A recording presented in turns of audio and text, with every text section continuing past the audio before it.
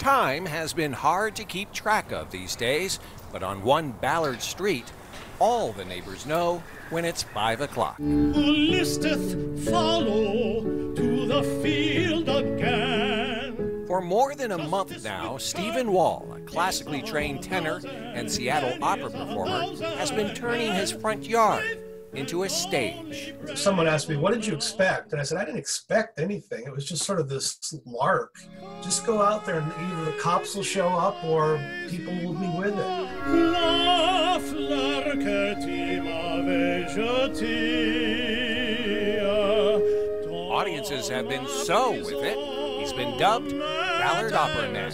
I think someone just just had said it. We're going to to that Ballard Opera Man. Some of my opera fans were, or my opera colleagues were sort of kidding at me about it and saying, "It sounds like there's a superhero costume in your future." Stephen belts out between 15 to 20 minutes a night, no matter how he's feeling.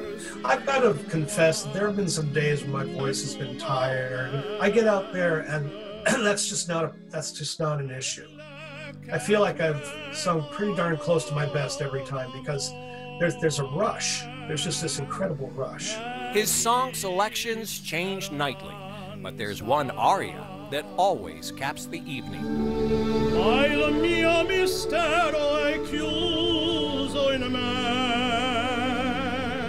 Well, I always end with Nessun dorma. You can't do a St. Patrick's Day concert without Danny Boy, so that's kind of what this has become. His performances are his gift to the community in these uncertain times.